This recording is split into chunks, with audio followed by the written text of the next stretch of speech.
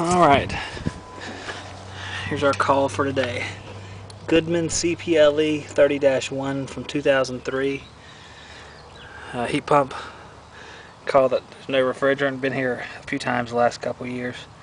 Uh, I topped it off a refrigerant. But we ended up finding a leak. It's inside the wall because you can see all the oil spray right there. It really opened up. In fact, it was, we had 300 pounds on it. It was just, you could actually hear it. It becomes so large. Uh, at first it was pretty small. It was leaking pretty slow, but uh, this time it would have leaked out by the time I got home in the van. So uh, the method I used to find it was, first I shut the service valves to separate the outdoor unit from the lines and indoor unit. And when I had realized that the indoor unit was the source, the next thing I did was go up in the attic.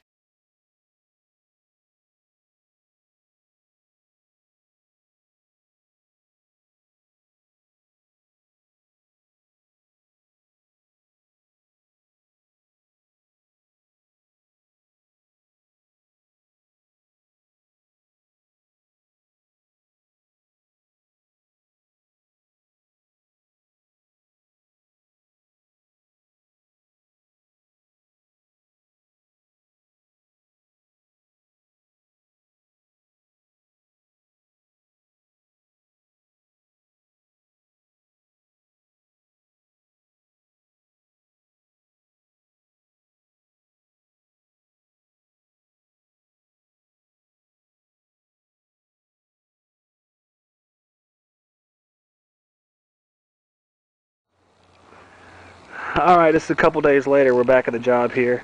What it is, I'm removing the old suction line from the wall, and we're going to go up the wall here and run a new line up and kind of enclose it in that mini split type channel, just so it looks alright.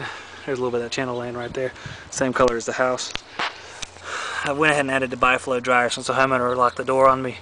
Had to wait to get some instructions on how to get in the house. So we're going to drill a hole and put up the channel and run that new line to the uh, air handler.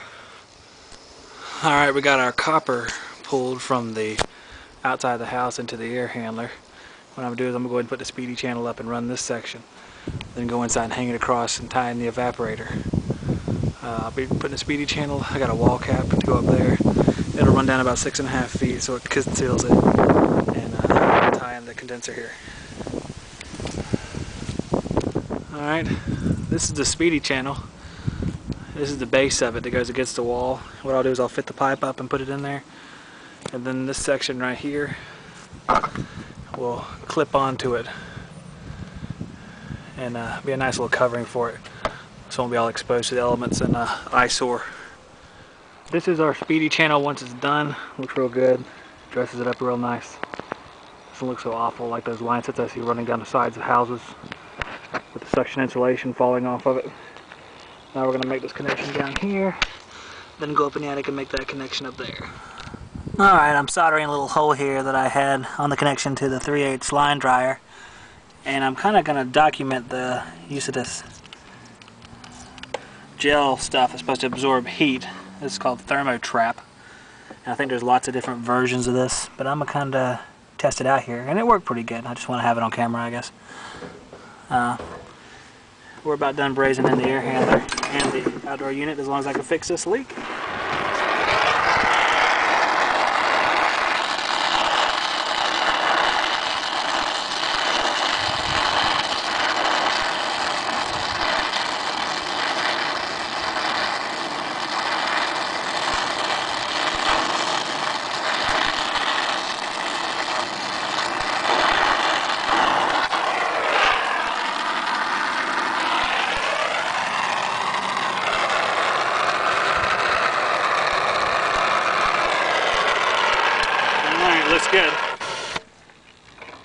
I had the service valves closed.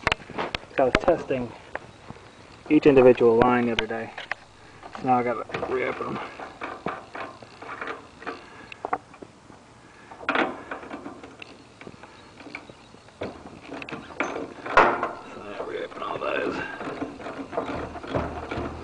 Put some nitrogen on the whole system, see if it holds give it a hearty dose of nitrogen.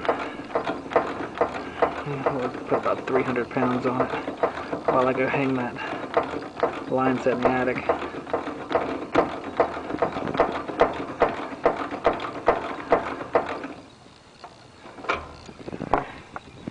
Alright, now we gotta hook up our nitrogen and we'll get started on that test. We already have uh, about 100 pounds on it since the condenser had some nitrogen on it from the last time I was here. So we'll hook up the nitro and get it started. Alright, putting nitrogen on the uh, new line set there, or one half of a new line set. Past 200 pounds there. Just about. One's a little ahead of the other. That's our new line set. I don't hear any leaks. I hear uh, nitrogen going in there. So we'll stop at about 250. Leave it on there for a while. See how it sets. Since one of the gauges only goes to 250.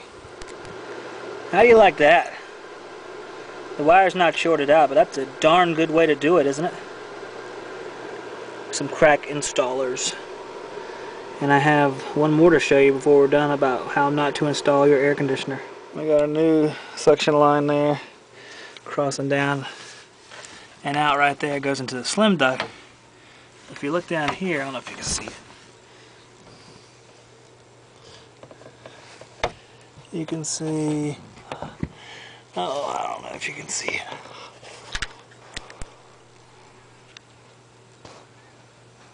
Another good job. That is crimped for eight years. Good job, guys. All right, this stage is called pulling a vacuum. After the nitrogen test checks out, we have 250 pounds for 30 minutes. What I move on to next is the vacuum pump, and the vacuum pump takes all the moisture out of the line by lowering the pressure inside the line so it evaporates.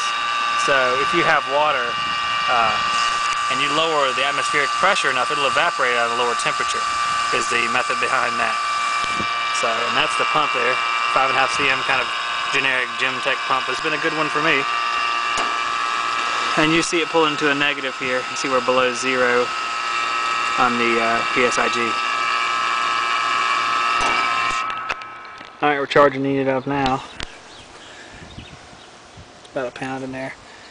We need to, just over six pounds and we'll start her up and see how she does. Alright, we're all done here. I calculated the superheat here and it's right on the money. There's our filter dryer. Disconnecting stuff. Everything's working out good. It's already cooled down 3 degrees in the house in half an hour. That's pretty good when it's 95 outside. You see our our drain there. It's really humid inside, you can tell. But I think we can call this one a victory. And on to the next one.